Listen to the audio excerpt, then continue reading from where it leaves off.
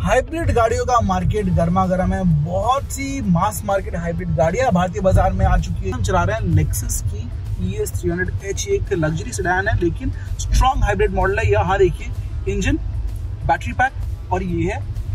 कहाँ से व्हील में पावर ट्रांसफ़र हो रहा है या फिर रिजनरेटिव ब्रेकिंग काम कर रहा है? सो so, अब देखिए मैंने एक्सीलरेट किया।